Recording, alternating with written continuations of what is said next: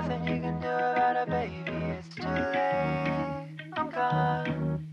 Nothing you can do to make me change my mind. Come on. Nothing you can do about it, baby. It's too late. I'm gone. Ora, sejam muito bem-vindos a mais um vídeo aqui ao canal. Se vocês são novos por aqui, eu sou a Rosário e também são novos por aqui. Convido-vos a subscrever o canal, ativem o sininho das notificações para ficarem sempre a de todos os vídeos que por aqui vão chegando. Antes de irmos para o vídeo, coloquem o vosso like e partilhem este vídeo com os vossos amigos e familiares e eu agradeço de coração. Estou de volta com mais um quadro Vlog Cozinha Comigo. Uh, já vos trouxe alguns uh, vídeos deste tema, deste quadro. Hoje vou partilhar com vocês uma deliciosa receita que nós gostamos cá em casa. O que eu vos prometi quando disse que queria fazer este quadro aqui no canal, talvez uma vez por mês, consoante o tempo que eu tenho. Uh, se eu conseguir, até faço duas. Prometi-vos receitas deliciosas, rápidas e fáceis e que toda a gente gosta. Nós gostamos muito de bacalhau cá em casa e eu faço de diversas formas, ou com natas, ou com hum, alguns de sá, à brás, e hoje trago-vos a minha versão de bacalhau hum, espiritual. É uma versão diferente, eu não uso pão, uso na mesma cenoura hum, e uso umas natas específicas uh, para peixe que eu vou mostrar já a seguir. Fica maravilhoso, é de comer e chorar por mais. Portanto, bora lá para o vídeo para aprendermos esta receita. Vamos então preparar o bacalhau. O... Ai, desculpa, faltam umas palavras. Bacalhau espiritual, desculpem. Um, esta é a minha versão, é, é uma versão diferente. O, tradicional bacalhau espiritual é feito com pão. Eu faço diferente mas vou partilhar então agora com vocês. Eu vou fazer assim nesta panela para não vir tudo para fora, depois vai-se juntar a, também a batata palha e às vezes cai. Uh, vamos precisar de azeite, um fiozinho de azeite, cebola picada que eu já piquei, cenoura ralada. Aqui está, a, minha, a cenoura era muito grande e eu coloquei só meia. Se for uma cenoura pequenina pode, podem colocar inteira. O ingrediente principal, o bacalhau, são cerca de 600 gramas, já está triturado, né? laminado. E depois vamos precisar de batata palha, claro. Podem, em vez de batata palha, colocar batata aos palitos, também fica muito bom, ou aos cubos, também funciona. E depois vamos, vou usar esta nata, vou usar até dois pacotes, porque somos quatro e ainda é bastante quantidade eu uso este molho de nata para peixes. E depois, claro, sal e pimenta eh, para temperar uh, o prato. A primeira coisa a fazer é colocar então aqui azeite.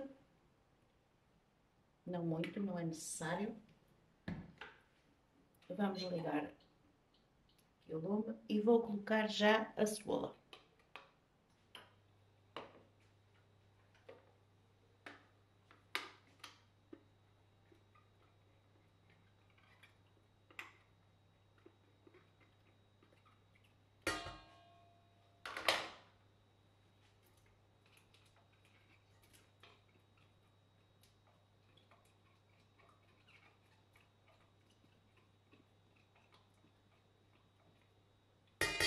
Eu estou a usar utensílios da Tupperware, que eu tenho uma parceria com a Silva Pereira Neves.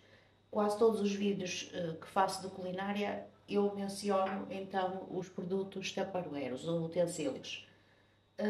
Na descrição do vídeo deixo-vos então as páginas da Silvia. Vamos deixar isto para a cebola ficar assim mais douradinha. Não é para queimar.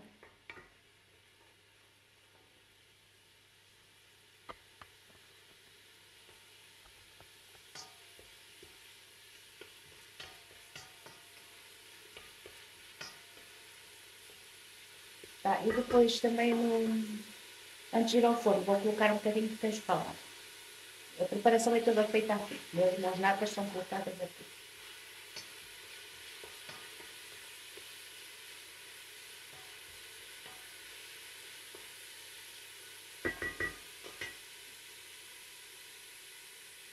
Vou adicionar agora a cenoura.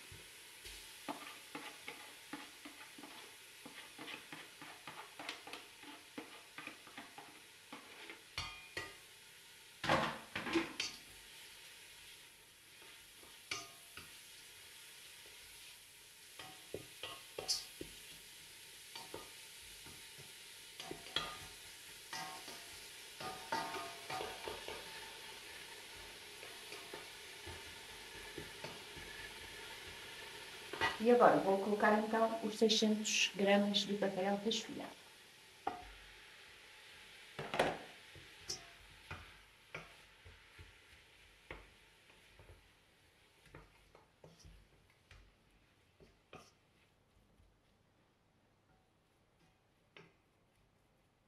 cozinhar um bocadinho para depois juntarmos o resto dos ingredientes. O bacalhau está assim, bem refogado. O que é que eu agora vou fazer? Vou adicionar a batata palha. Uh, tenho este bocadinho, este restinho e vou abrir o pacote. Isto é assim um bocado olhômetro. Uh, vou se calhar deixar um bocado pacote e este resto.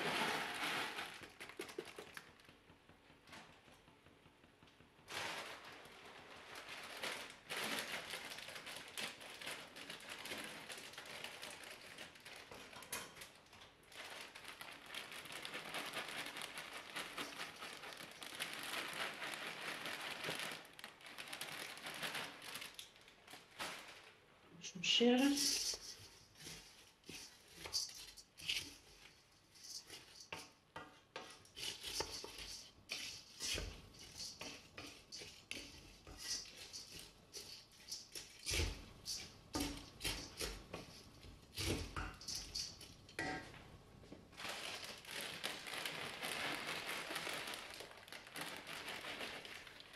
esta quantidade deve chegar claro, quanto mais pessoas forem, mais batata e se calhar bacalhau. Eu, quando tenho muita gente para fazer este prato, dobro a receita. Como somos só quatro, uh, é suficiente. E agora vamos deixar que a batata ganhe aqui o paladar e fique mais maleável. E depois coloco então as natas. Temos então aqui esta mistura de batatas, bacalhau, cenoura e cebola. Eu não vou colocar sal porque acho que não é necessário. A batata palha tem um teor de sal bastante elevado. Vou só colocar um bocadinho de pimenta. Se gostarem das coisas mais salgadas, coloquem sal.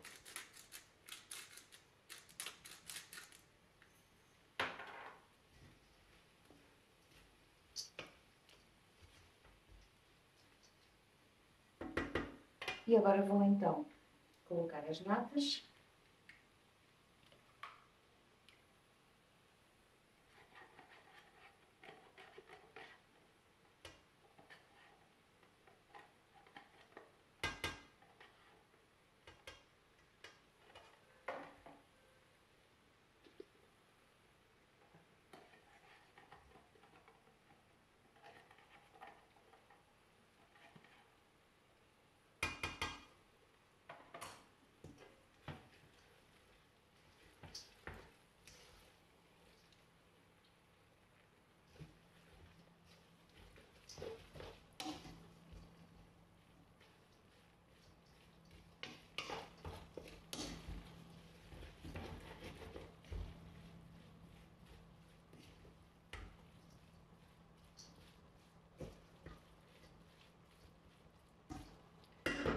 E agora vamos deixar cozinhar um bocadinho para os sabores se misturarem todos e está pronto.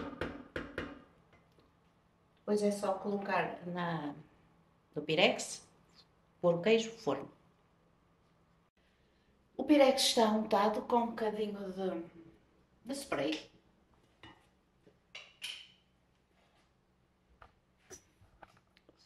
Melhor. E agora vamos então colocar aqui.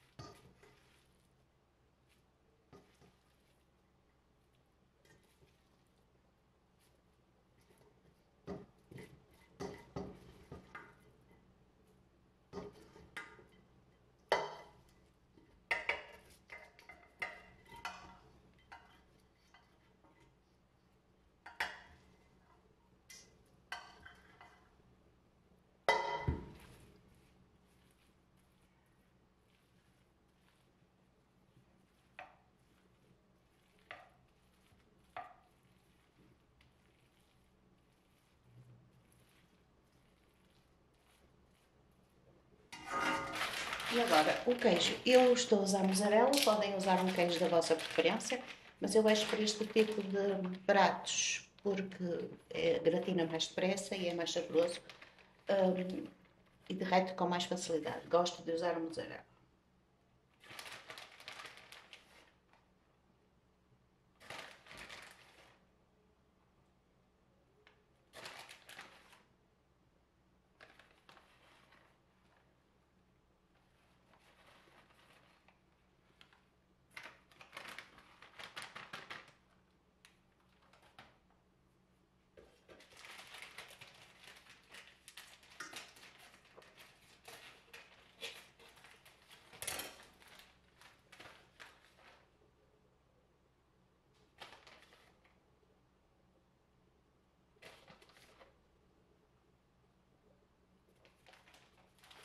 Pronto, temos então o nosso bacalhau prontinho, a ir ao forno, uh, a 180 graus entre 20 a 25 minutos.